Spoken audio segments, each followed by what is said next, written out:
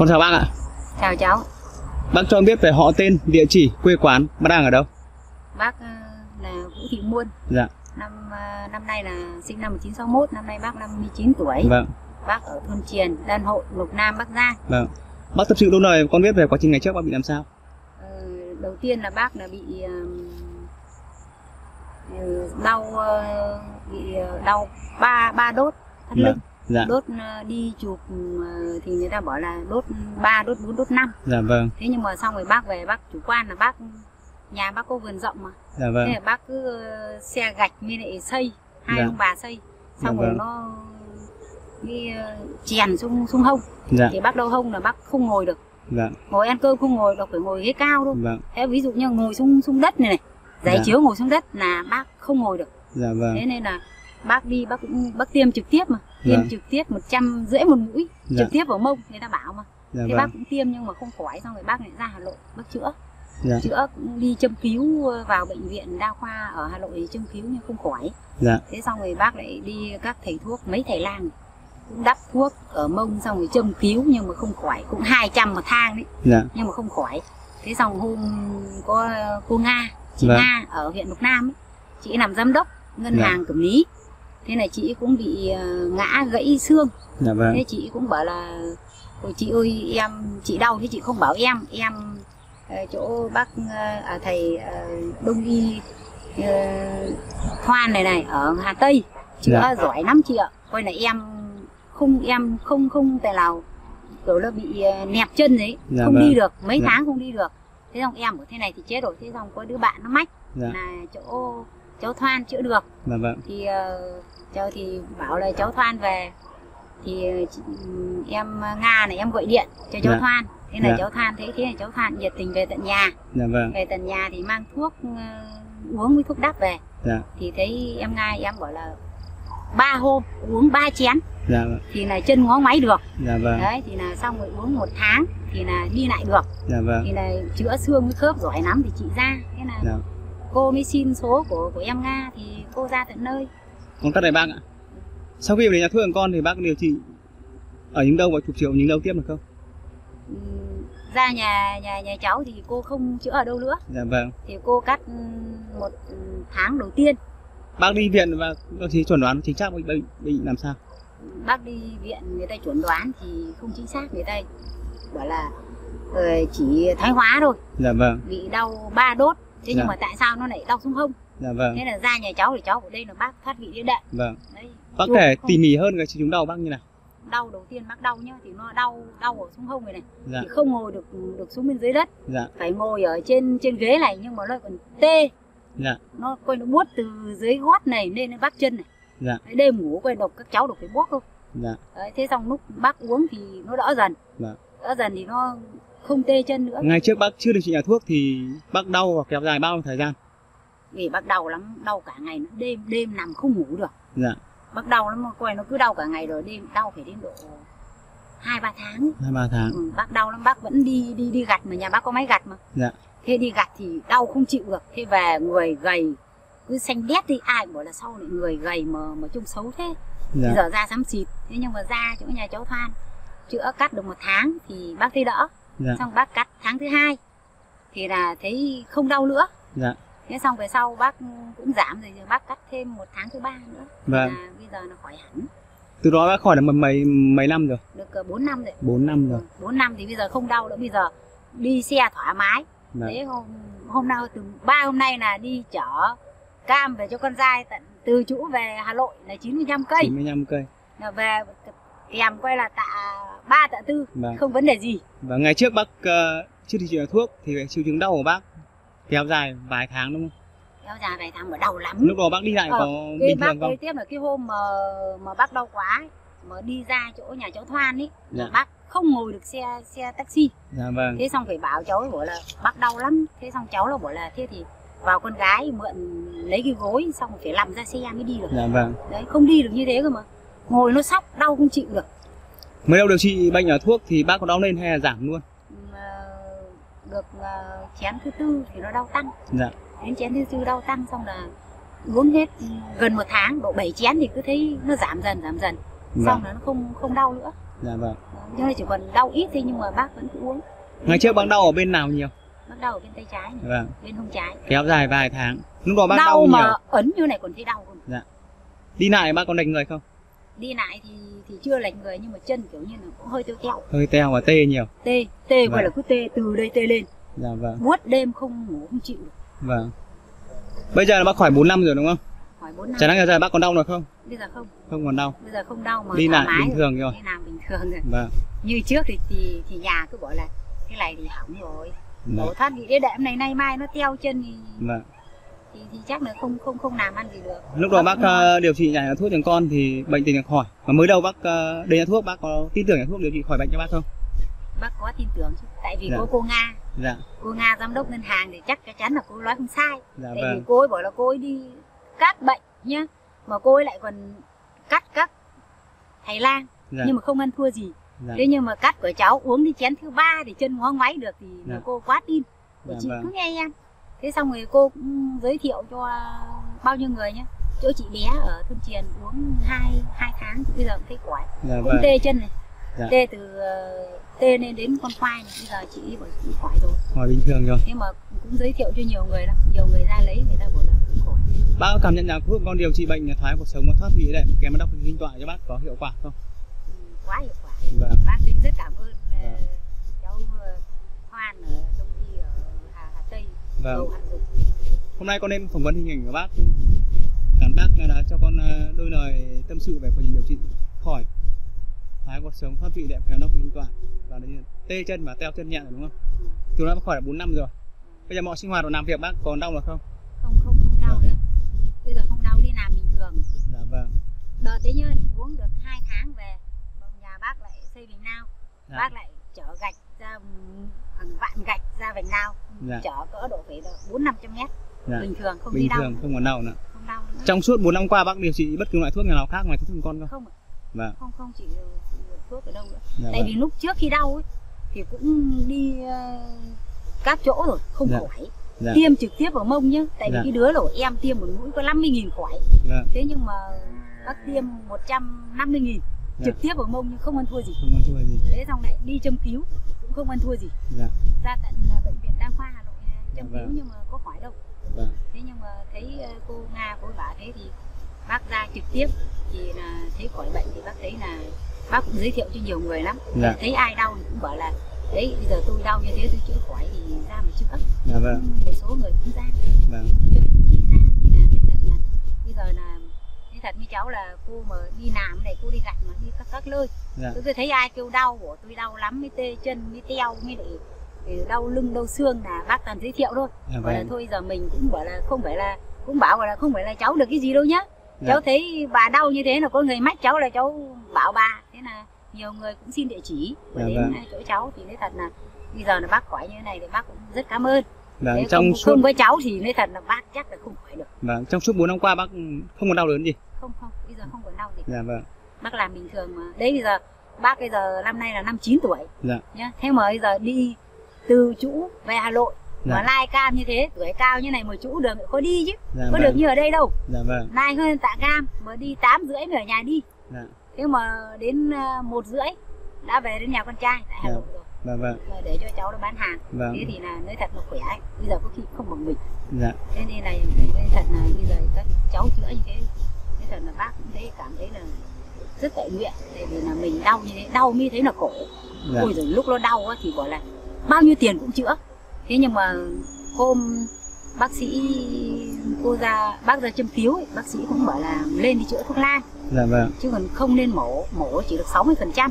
Dạ thế nên là bác không bác chỉ đi xem nhà thuốc nam nó hay để bác chữa thôi.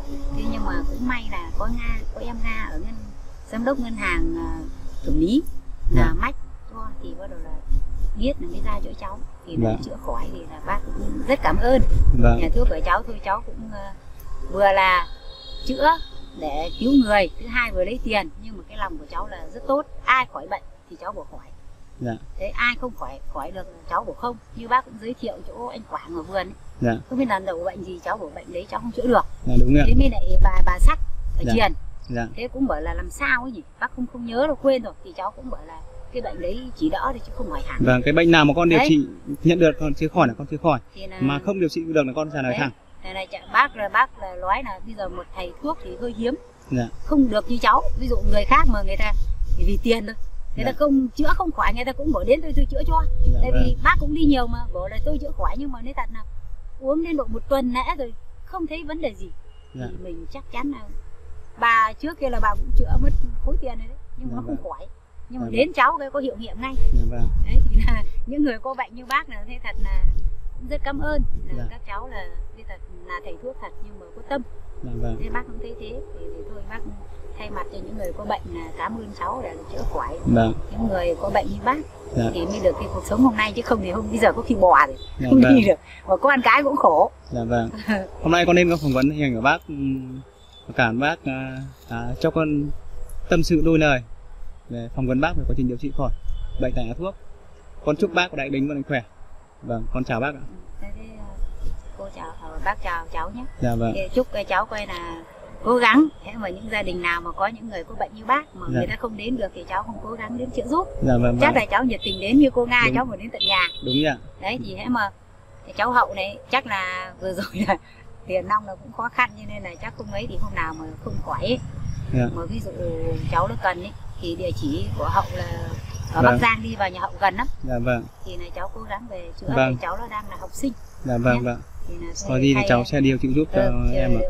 thì, thì hôm đấy nghe chỗ em nga bảo là em đau nhưng em không đi được mà bảo có về giúp được không mà cháu cũng về tận nhà thì mang thuốc về thì cháu cũng thấy bác thấy là cháu rất nhiệt tình. Dạ với vâng. người bệnh thế thay mặt các người, người có bệnh như bác là Dạ. cảm ơn cháu và gia đình. Thế chúc gia đình cháu rồi mạnh khỏe an khang thịnh vượng. Dạ vâng. Gặp con nhiều à, may mắn nhé. con chào bác ạ. Vâng thế chào cháu nhé. Vâng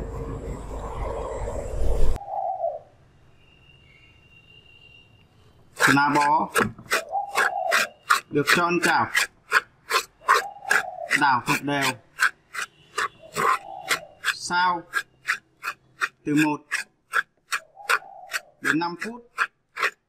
Cho đến khi nhiệt độ của lá đạt khoảng từ 30 đến 40 độ là được. Rồi ta bắt ra.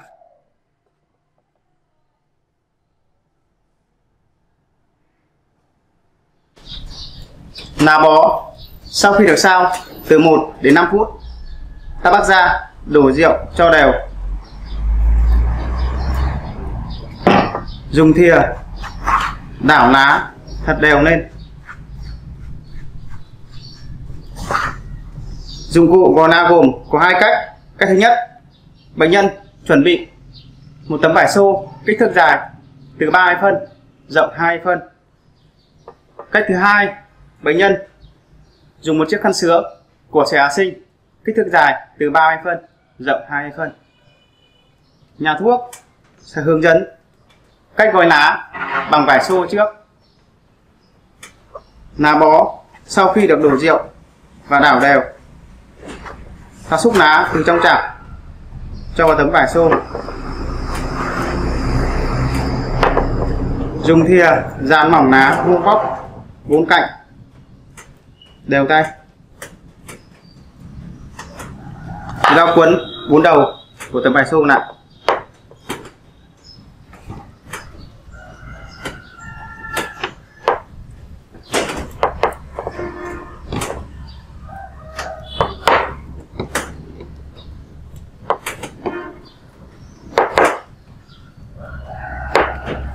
Mặt ngoài của lá, bệnh nhân.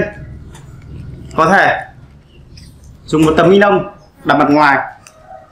Hoặc một tấm giấy cũng được. Người ta ngửa nán lên. Đây là cách gói lá thứ nhất của nhà thuốc. Đã làm xong. Còn cách gói thứ hai, bệnh nhân chuẩn bị một chiếc khăn sữa của trẻ sinh. Sau đó, ta dùng kéo cắt một đầu ra.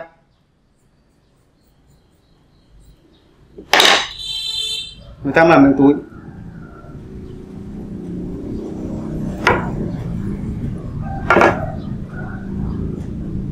Xúc lá từ trong chảo.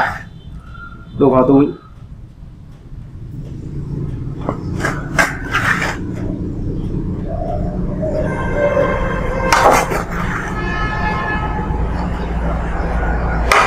Sóc ná vuông góc đều tay, bốn cạnh lại chúng ta quấn một đầu của túi lại.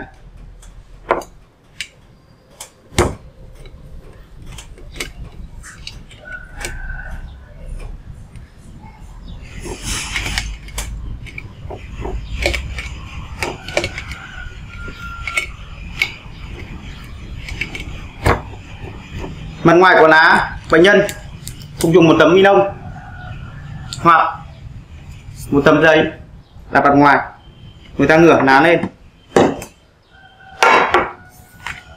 Đây là hai cách gói ná của nhà thuốc. Bệnh nhân thi chuẩn canh một và canh hai cũng được. Người đã vào vị trí bị bệnh.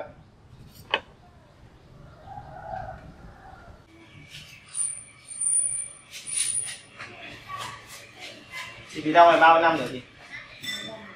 Ba năm rồi. Chị đau cái nào nhiều? Tê chân này chị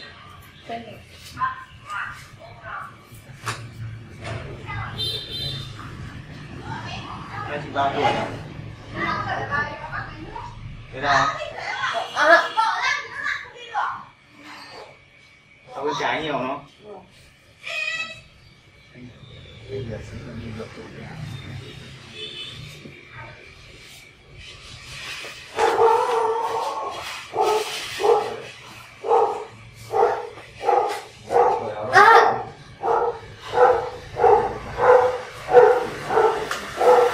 Đây, đây, đây.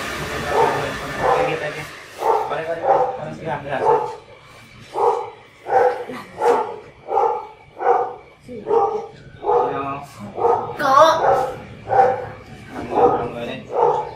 Đằng sau. Chỉ người sau trái nhé. Hay là một lần ngắt một cái cái hoa.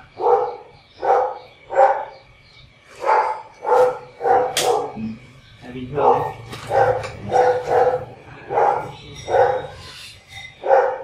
Thấy đâu?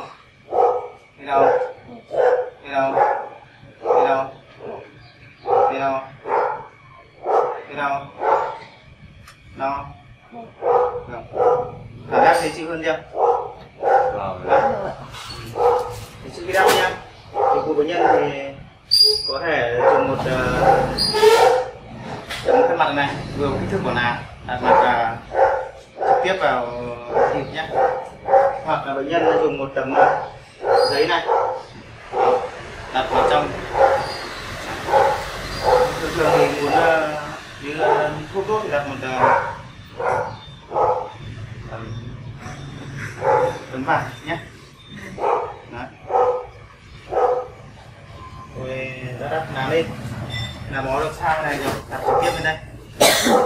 Mặt ngoài của lá thì bệnh nhân có thể dùng một tấm giấy cũng được. Đặt mặt ngoài. Hoặc là, là lót một ờ, tấm ni lông cho vì lá tốt thông thường nhà thuốc hay đắp bằng ờ, tấm ni lông này cho dùng lá tốt là lá không khỏi dây ra rửa nạc hoặc dây đào. Cùng một vòi nám thì dùng băng phun này nhé. Đó. Cố định lại. Ở đây em à? tối đắp thì ngày nghỉ nhé. Anh cứ ngồi để em hướng dẫn cho đắp thì ngày nghỉ. Trong quá trình điều trị không chịu thịt chó cho em nhé. Năm ngày thay vào miếng. Hàng ngày bỏ lá ra rồi lại sao lại đắp y xì này nhé. Sao nóng từ 1 đến 5 phút rồi, rượu đắp vào thôi. Nhé, có gì cả đắp, có uống điều trị thứ hai bốn tháng. Trong nắn ờ, vào đấy. Này sang trái không Thank you.